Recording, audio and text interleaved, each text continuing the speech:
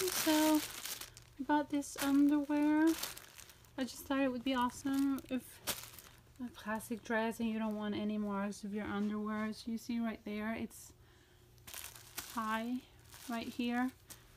So that's gonna make it not look, you know, that mark. So the color, it's a little more orangey. It's still beige, like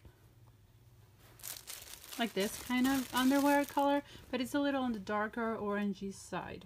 It's not kind of like a pale color, so I'm guessing this color would work on more skin colors instead of just like super pale. But yes, it's really good. It's really soft. You can see here the inside, it doesn't have any seams, so that's amazing. No seams at all, but the bottom, of course, right here.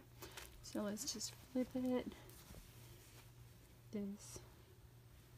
It's really, really soft, really flexible, actually quite flexible. So I would definitely not order a size up. It doesn't even have a tag or anything. I'm loving that part.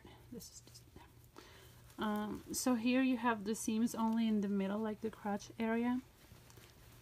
You have it right there. So this part is reinforced just for comfort, female comfort. Yes, I, I like them a lot. I'm gonna try them on.